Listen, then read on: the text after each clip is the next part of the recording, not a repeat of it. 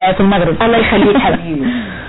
لفاطمة حجر أبيها وملكة ومواليها وأرض جذباء وما يسقيها. إلا دمع متمكن من مجراه يحفر أديم الخد ويدميها. نكسة ثقيلة تشق قلب البهية تصل أيامها بلياليها. تفرش فارس الصمت هروبا. ليس من شيم الجلالة وما يليها. تحلي جبهته في الرمل كما النعامة. ترمي صغارها وراء نعليها فتبرئ ذمته من كل شيء. من كلمة شرف قطعها على نفسه فترك القبيلة بلا مضارب تحميها. يا سيدي سمعينا إيه تاني؟ أختار حاجة. اولا عقيدة القبل. آه، إيه معنى العنوان؟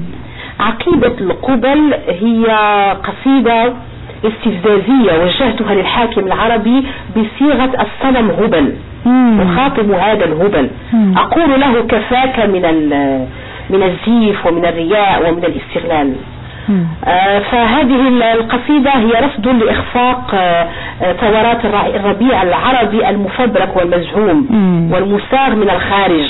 نريد ثورة ليست بالسلاح نريد ثورة هادئة. ثورة من خلال الفكر ومن خلال دور المثقف العربي. الذي حان الوقت أن يخرج من صمته وأن يلعب دوره كاملا. ناخد سطور قليلة ماشي. من هذه القصيدة نختم بيها لقائنا مع ابتسام حسني. هسيبكم تستمتعوا بيها غنج السيدة غنج السيدة بعتبة المظالم حور عين يبدين زينتهن ما ظهر منها وما استعصى على النظر بالرضا.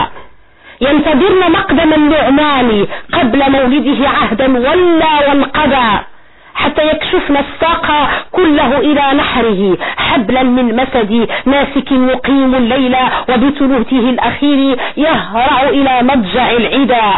يسلمهم جسده الهزيل خاليا من فأسه يضرب في كل مكان لكن لا شيء يشفي غليله فيرضى. بزواج مؤجل والعصمة فيه بيد السيدة تأمر بالنوم باكرا وتنهي عن ثياب العيد بمجلس قردة كبيرهم عليل أصابه سقم, القذف بلا سبب فزاغ عن طريق الهدى. وصغيرهم جل جنونه لدى رؤية البدر بنهاية الشهر فرمى فروه بماء آسن وفر بعيدا بعيدا عن عشيرة جنسه هجر البلاد تحت طائلة البطلان واعترف بكل الممكن ما قام به فعلا وما لم يقم به وما كان عليه أن يفعل حتى